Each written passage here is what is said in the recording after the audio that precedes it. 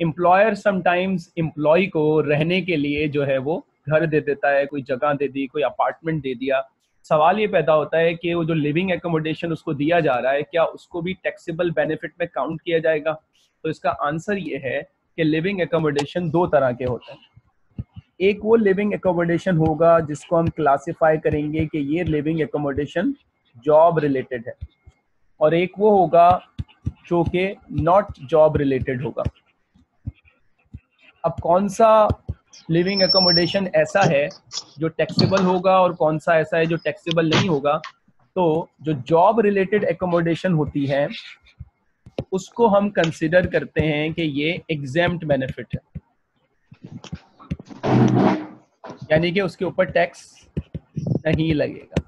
अगर किसी एम्प्लॉय को जॉब रिलेटेड एकोमोडेशन दी जाए, उसको आगे डिस्कस करते हैं, कैसे पता लगेगा जॉब रिलेटेड होगी या नहीं होगी? लेकिन अगर वो जॉब रिलेटेड हुई तो उस लिविंग एकोमोडेशन का बेनिफिट जो है वो एग्जाम्ड बेनिफिट में आएगा, कोई टैक्स नहीं देना पड़ेगा। लेकिन अगर वो जॉब रिलेटेड नहीं हुई जॉब से उसका कोई ताल्लुक नहीं है तो उसको एडिशनल बेनिफिट कॉन्स्टिट्यूट किया जाएगा एडिशनल बेनिफिट कंसिडर किया जाएगा और उस एडिशनल बेनिफिट के अगेंस्ट हम उसके टैक्स कॉन्सिक्वेंसेस कैलकुलेट करेंगे। अगेन बहुत ज़्यादा एग्जामिनेबल टॉपिक है, बार बार आता है। सो नॉट जॉब रिलेटेड का टैक्स कैसे निकालें इसमें हमारे पास दो तरह के टैक्स निकलते हैं। एक तो बेसिक चार्ज होगा जो कि हर एम्प्लॉय को देना पड़ता है। और एक होता है एडिशनल चार्ज जो कि कुछ कंडीशंस के अंदर लगता है। Taxable benefit now as far as the basic charge is concern तो जो बेसिक चार्ज है, वो इस बात पे डिपेंड करता है कि जो प्रॉपर्टी दी गई है लिविंग एकोमोडेशन के तौर पर, वो प्रॉपर्टी ओन्ड प्रॉपर्टी है या वो प्रॉपर्टी एम्प्लॉयर ने रेंट पे लेके दी रेंटेड प्रॉपर्टी है या ओन प्रॉपर्टी अगर एक एम्प्लॉयर ने एक प्रॉपर्टी लिविंग एकोमोडेशन के तौर पर एम्प्लॉय को रहने के लिए दी और वो एम्प्लॉयर की जाती पर्सनल प्रॉपर्टी है ओन प्रॉपर्टी है तो टैक्सेबल बेनिफिट जो बेसिक चार्ज निकलेगा, वो बराबर होगा एनुअल वैल्यू ऑफ़ प्रॉपर्टी कोई कैलकुलेशन नहीं करनी। एनुअल वैल्यू ऑफ़ प्रॉपर्टी के बराबर होगा। एनुअल वैल्यू को आसान अल्फाज में समझ लें आप एनुअल रेंटल और ये गिवन होगी एग्ज़ाम के अंदर। लेकिन अगर फॉर एग्ज़ाम्पल एम्प्लॉयर ने एक अपार्टमेंट या लिविंग एकोमोडेशन किराए पे लिया हुआ है है और वो उसका रेंट पे कर रहा है। तो अब जो बेनिफिट बनेगा, अगर वो रेंटेड प्रॉपर्टी हुई तो बेनिफिट होगा higher of higher of annual value of the property वैसे ही। और rent paid by the employer इन दोनों में अगर कोई डिफरेंस आता है तो उन दोनों का हायर ऑफ़ लेकर उसको हम टैक्सेबल बेनिफिट कंसिडर करेंगे। ये तो बेसिक चार्ज की बिल्कुल बेसिक सी कैलकुलेशन है, जिसमें कोई कैलकुलेशन नहीं करनी, सिर्फ़ फॉर्मूला अप्लाई करना है रूल अप्लाई करना है हायर ऑफ़ याद रखना है कि हायर ऑफ़ के ऊपर टैक्स लगता है। Now as far as the additional charge is concern तो एडिशनल चार्ज आप पे कब लगेगा? बेसिक चार्ज के साथ आपको एडिशनल चार्ज कब देना पड़ेगा? एडिशनल चार्ज आपको कब देना पड़ेगा?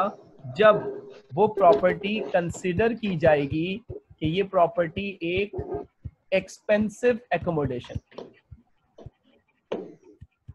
अब जी मुझे ये कैसे पता लगेगा कि प्रॉपर्टी एक्सपेंसिव एकोमोडेशन की डेफिनेशन में आ रही है?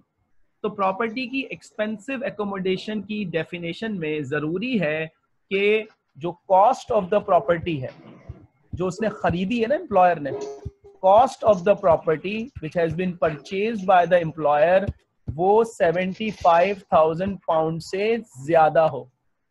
अगर प्रॉपर्टी की कॉस्ट 75,000 से ज़्यादा हो यानी कि प्रॉपर्टी कौन सी हो? प्रॉपर्टी ओन प्रॉपर्टी हो। रेंटेड की थाउज़ेंड से ज़्यादा की प्रॉपर्टी है तो अल्टीमेटली 75,000 से अगर ज़्यादा की प्रॉपर्टी है तो अल्टीमेटली आपको एक एडिशनल चार्ज भी पे करना पड़ेगा। एक्सपेंसिव एकोमोडेशन अगर क्लासिफाई हो जाए तो आपको एडिशनल चार्ज पे करना पड़ेगा। उसकी कंडीशंस मैंने आपको बता दी। अब आपका जो एडिशनल चार्ज होगा वो निकलेगा कैसे? अब आपका जो एडिशनल चार्ज होगा वो इस तरह से निकलेगा कि आप लेंगे cost of the property cost of the property लेंगे आप और 75,000 से जितना एक्सेस होगा वो निकालेंगे और उसको मल्टीप्लाई कर देंगे ऑफिशियल रेट ऑफ़ इंटरेस्ट जो कि आपको टैक्स शीट में दिया हुआ होगा in which is 2.5 percent for the tax year 19 and 20 ये आपका ऑफिशियल रेट ऑफ़ इंटरेस्ट है। करेक्ट फॉर एग्ज़ाम्पल अगर एक लाख की प्रॉपर्टी की कॉस्ट थी 75,000 उसका लिमिट है मल्टीप्लाई बाय 2.5 परसेंट तो एडिशनल चार्ज हमारे पास क्या बनेगा? एडिशनल चार्ज हमारे पास बन जाएगा पच्चीस हज़ार के ऊपर हम 2.5 परसेंट निकालेंगे। 2.5 पच्चीस हज़ार multiply by 2.5 divided by hundred six twenty five सही? लेकिन एक बात जहन में रखी जाए, बाज दफ़ा क्या होता है? बाज दफ़ा ये होता है कि जो मार्केट वैल्यू होती है मार्केट वैल्यू प्रॉपर्टी की थी फॉर एग्ज़ाम्पल एक लाख पचास हज़ार। और आपने जब परचेज की थी तो उसकी कॉस्ट थी सिक्सटी थाउज़ेंड तो स्टूडेंट क्या करते हैं? स्टूडेंट इसको समझ लेते हैं कि ये एक्सपेंसिव एकोमोडेशन है। It is not an expensive accommodation ये बात जहन में रखें। तो हम मार्केट वैल्यू से क्राइटेरिया जज नहीं करेंगे, हम क्राइटेरिया हमेशा कॉस्ट से जज करेंगे। अगर कॉस्ट ज़्यादा है और मार्केट वैल्यू कम भी हो गई तो हम उसको एक्सपेंसिव एकोमोडेशन कहेंगे, ठीक है? अच्छा बाज दफ़ा क्या होता है कि इस प्रॉपर्टी के ऊपर कोई कैपिटल इंप्रूवमेंट की जाती है। रिपेयर एंड मेंटेनेंस की बात नहीं कर रहा कैपिटल एक्सपेंडिचर की बात कर रहा। फॉर एग्ज़ाम्पल आपने एक प्रॉपर्टी खरीदी फ़र्स्ट जनवरी 2017 में और उसकी कॉस्ट थी फॉर एग्जांपल एटी थाउज़ेंड की और फ़र्स्ट जनवरी 2019 में आपने उसके ऊपर एक इम्प्रूवमेंट की और उस इम्प्रूवमेंट के ऊपर आपके बीस हज़ार खर्च हुए। फिर आपने फ़र्स्ट दिसंबर 19 में दोबारा इम्प्रूवमेंट की और उस इम्प्रूवमेंट में टेन थाउज़ेंड खर्च हुए। What is the cost for the expensive accommodation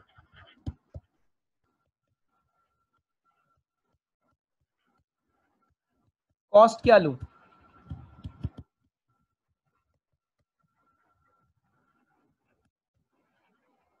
तो इसका रूल ये है, देखें रूल ये है कि आप ओरिजिनल कॉस्ट लेंगे अस्सी हज़ार की, उसके अंदर इंप्रूवमेंट ऐड करेंगे।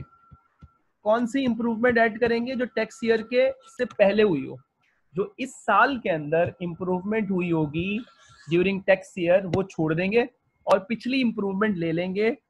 तो आपकी जो कॉस्ट हो गई, जो आपको इस साल कैलकुलेशन में लेनी है, वो कितनी लेनी है? आपको एक लाख कंसिडर करनी ये जो improvement during the tax year हुई है, ये अगले साल से ऐड होगी। ये इस साल की कॉस्ट में ऐड नहीं होगी। यानी कि अगले साल अगर एक्सपेंसिव की कैलकुलेशन की जाएगी तो फिर कैलकुलेशन में एक लाख दस हज़ार रख के कैलकुलेशन की जाएगी।